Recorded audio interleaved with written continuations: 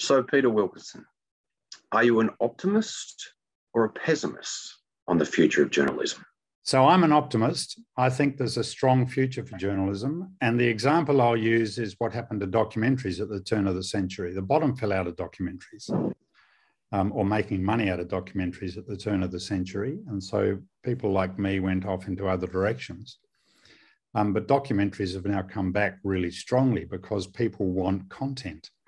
And I think the same will happen with journalism.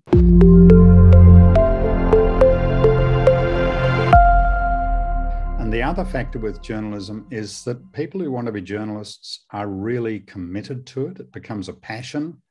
They want to catch the bad guys or create change or make create a better society.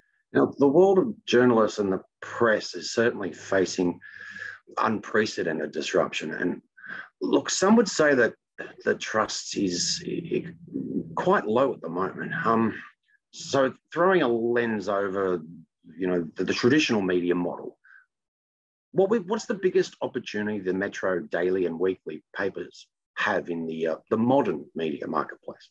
Well, I think um, so. Uh, we have published 17 Future of Journalism episodes and recorded 21. Almost everyone agreed that um, that trust is the big issue, and um, I think I can summarize that by saying the future of journalism relies on journalists being very good, being better at what they do, and that is providing accurate information, holding people to account, and distilling complex issues. The, the, the umbrella that sits over the top of that is making communities stronger or making societies better, or however you want to say that. And I think a lot of people hope that in the future, journalists will run a ruler over each of their stories and say, is this story structured in such a way that, yeah, sure, chase the bad guy, but are, am I creating a better society? So, what would you say is the major opportunity for the traditional metro and daily ah, papers. So the collective view is that their future is going to be under a lot of pressure. And the collective view is that size matters. So big publishers, global publishers like the New York Times are destined, this is the sense, are destined for success. So the global public, the New York Times currently 16% of its audience is outside the United States and it has 1.6 million subscribers. So it can afford to employ a lot of journalists. And remember, these traditional publishers provide information across the board. They hmm. provide information about everything to everybody, and that's a very costly exercise compared to, say, um, a niche publication that looks at the stock market. The challenge is to know what the minimum audience is for that kind of traditional publication. So, is Sydney or Melbourne a big enough audience? So, is there a long term future for the Sydney Morning Herald and the Age? We just don't know. I mean, the reality is we just don't know yet.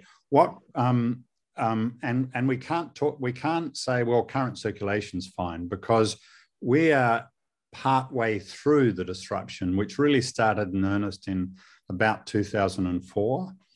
And we don't know where it's going to end. And the competition is coming from the big global competitors and from the niche publishers. So there's a lot to go on this and a lot of unknowns. When we look at the niche publications and, and the movement, the disruption to, to online offerings, what do you see as the likelihood that there'll be a continued proliferation of, of these specialist digital uh, media marketplace offerings? Yep. Now, here's the magic and the excitement in publishing.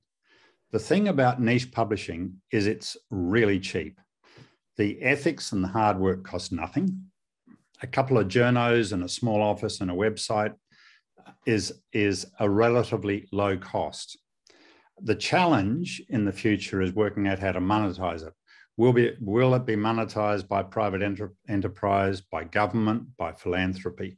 And by the way, the ABC and the SBS are, a huge asset to Australia. This is the collective view in that respect, in that they do provide a journalist, a service of journalists provided by the government. Um, and the challenge for existing publishers is really interesting here because if they lay off 20 journalists, How many of those are going to become their own niche publishers or have their own niche publications and, in fact, set up in competition uh, and undermine their former employer?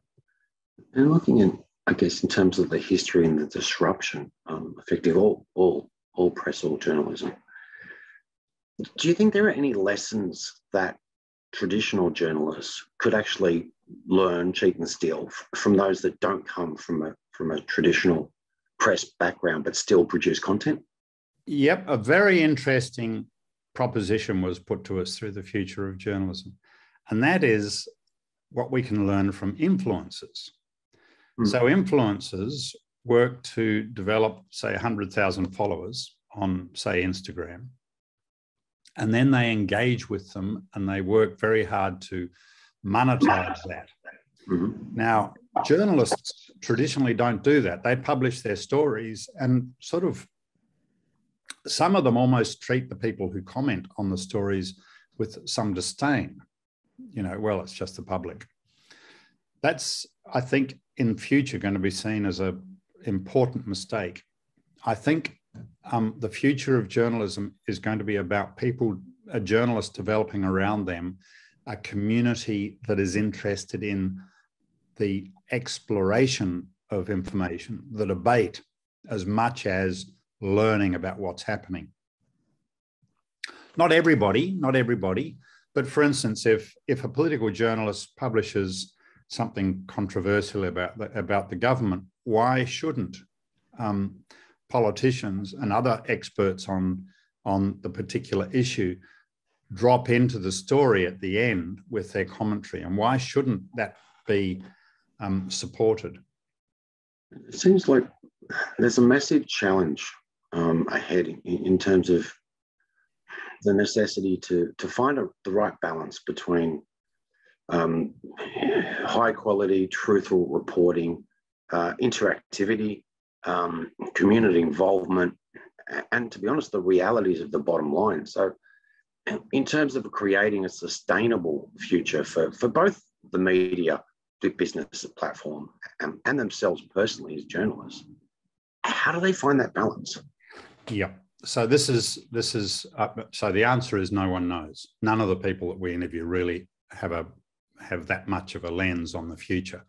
However, one of one of the things we know is is the traditional R and D model, and which you know try fail, try fail, try fail, try succeed.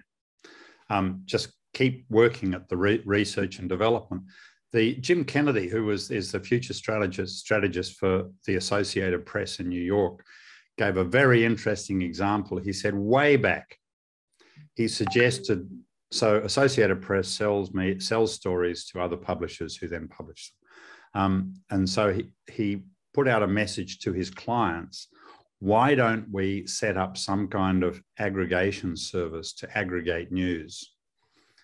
Um, and he was ignored. And of course, what happened next was the emergence of Google and Facebook um, and other aggregators. So that was an R&D opportunity missed by the traditional publishers. So the, the publishers that this is the collective view. The publishers that will make a success are those who are prepared to try new things, constantly test, constantly test. And to say we've got the model right um, for the future now would be this is the collective view, a mistake.